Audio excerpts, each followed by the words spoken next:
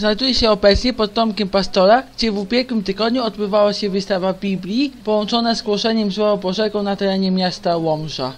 I y, prezentujemy wystawę Biblii, która dotyczy 3,5 tysiąca lat y, historii.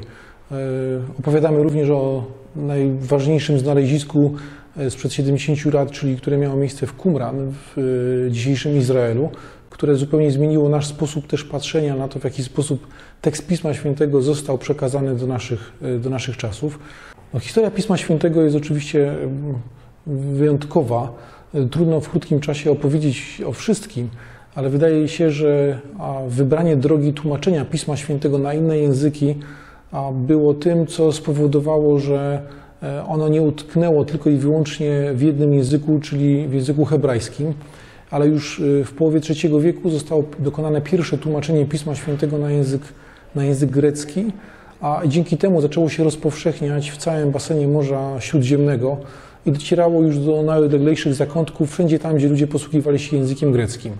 A w niedługim czasie również dokonano tłumaczeń na inne języki e, i jednym z najważniejszych była oczywiście łacina, e, gdzie powstało e, wyjątkowo ważne dzieło, czyli Vulgata w tłumaczeniu Hieronima. E, Pismo to w przekładzie na język łaciński e, służyło przez wiele lat w Kościele Zachodnim i często też właśnie na podstawie tego przekładu Pisma Świętego dokonywano tłumaczeń na inne, nowożytne języki, w tym właśnie angielski, hiszpański, włoski, właśnie czy też niemiecki. E, Od tamtej pory wiele się zmieniło i złotym wiekiem Biblii określamy dziś wiek XVI, kiedy to dokonano w zasadzie najwięcej tłumaczeń Pisma Świętego na e, języki nowożytne. E, No w tym między innymi właśnie powstała pierwsza Biblia przetłumaczona na język polski w XVI wieku, tak zwana Biblia Leopolity, 1561 rok, a w 1632 już pierwsza Biblia przetłumaczona na język polski, ale z oryginałów przez polskich protestantów, tak zwana Biblia Radziwiłłowska. Motto, które towarzyszy naszej wystawie brzmi następująco, iż kocham Boże Słowo, całe Słowo, Słowo w Słowo. Jestem z Sopotu, przyjechałem tutaj razem z moją żoną. Reprezentujemy Stowarzyszenie Chrześcijańskich Muzyków Misją Muzyką.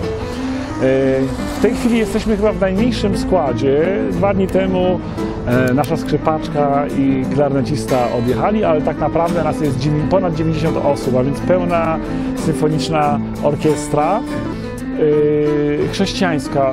Założyliśmy to w 90 roku. I od tamtej pory nazwaliśmy się Misja Muzyka, dlatego że misja jest najpierw, potem muzyka. Tu jesteśmy na zaproszenie też lokalnego takiego kościoła protestanckiego. Yy, My jesteśmy jak gdyby ponad denominacjami, ponad wyznaniami, chrześcijanami, którzy głoszą miłość Jezusa. Yy, Sami przeżyliśmy to i cieszymy się, że możemy śpiewać.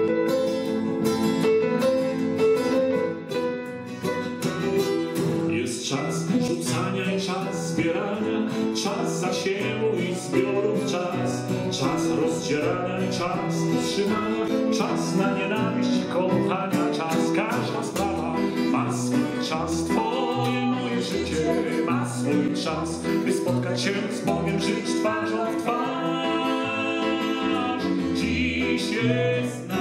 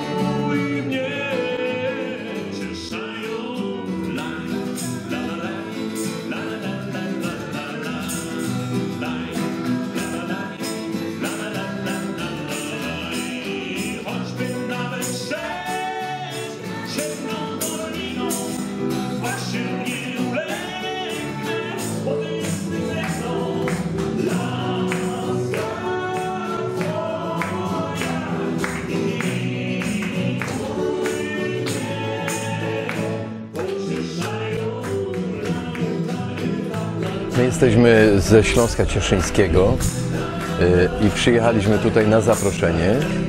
na zaproszenie społeczności chrześcijańskiej i fundacji, która pracuje e, mm, rozdając, dzieląc się Biblią, rozdając Słowo Boże i, i, i dzieląc się świadectwami. E, Sami jesteśmy uratowanymi alkoholikami. Ja byłem 17 lat alkoholikiem, ale 22 lata jestem wolny w Chrystusie i za to Bogu dziękuję, że mogę śpiewać dla Jego chwały i służyć Mu całym sercem.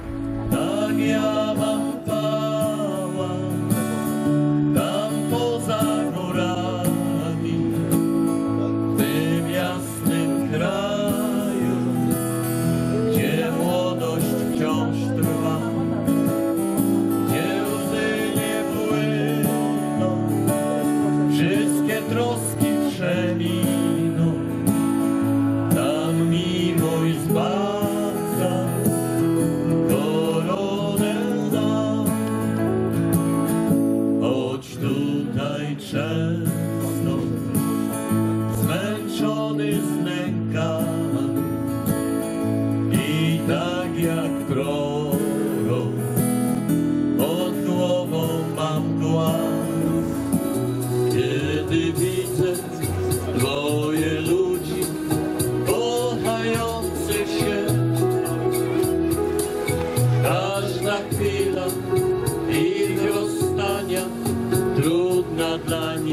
Uważaj!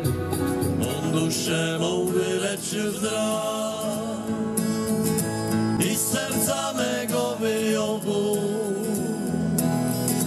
a nad przepaścią dłoń mi dał,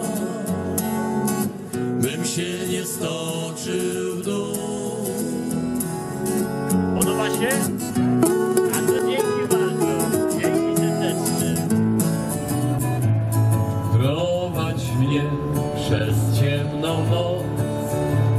Twój blask przyświeca mi.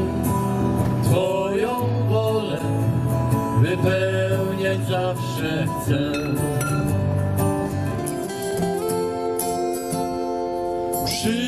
Przyjacielem naszym Jezu, jak wspaniałym,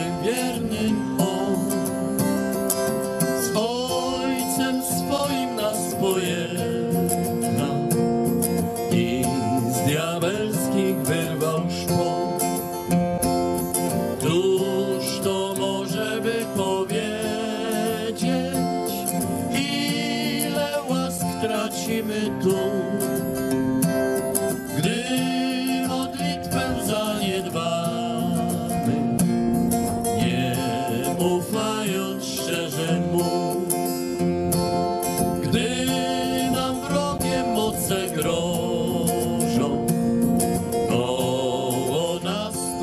burza dmie.